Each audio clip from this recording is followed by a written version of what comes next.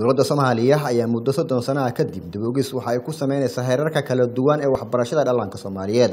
Arrintan ayaa ka mid ah qodobada looga hadlay shir wadatashi siyaasadeed waxbarashada dadban oo shalay ka furmay magaalada muqdisho kulankaas oo u dhexeeya dowladda federaalk soomaaliya dowlad goboleedyada iyo hay'adaha taageera waxbarashada soomaaliya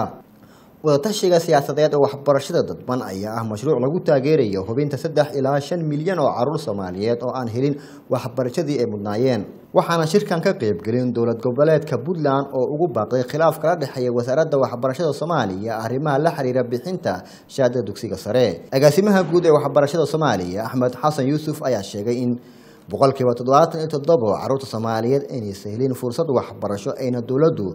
soddonkii sano kadib dib u eegeyso heerarka kala duwan ee waxbarashada dhallaanka soomaaliyeed